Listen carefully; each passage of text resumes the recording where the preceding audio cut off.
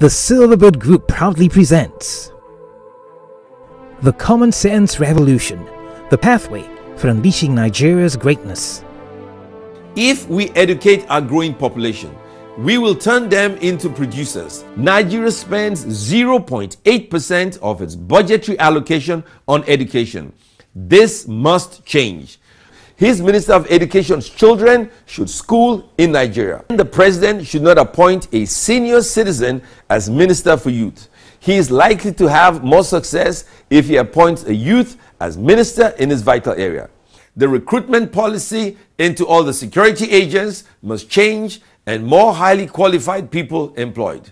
If you are still blaming your predecessors after six months, when are you going to ever deliver the goods? A Common Sense Revolution, book presentation by Senator Ben Murray Bruce. On Friday, February 19, 2016, at the Convention Center, Eko Hotel, Victoria Island, Lagos, Nigeria.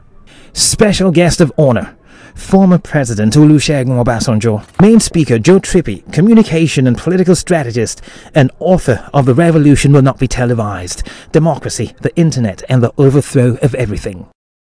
Africa is a place right now that's got large growth, economic growth. He also worked on the election campaigns of Ted Kennedy, Jerry Brown, Howard Dean, Morgan Tsvangirai, and even Goodluck Jonathan. The book will be reviewed by Michael Moszynski, founder and CEO of London Advertising. Famous for advertising for the Conservative Party during Prime Minister David Cameron's successful 2010 election. Britain needs strong, stable, decisive government.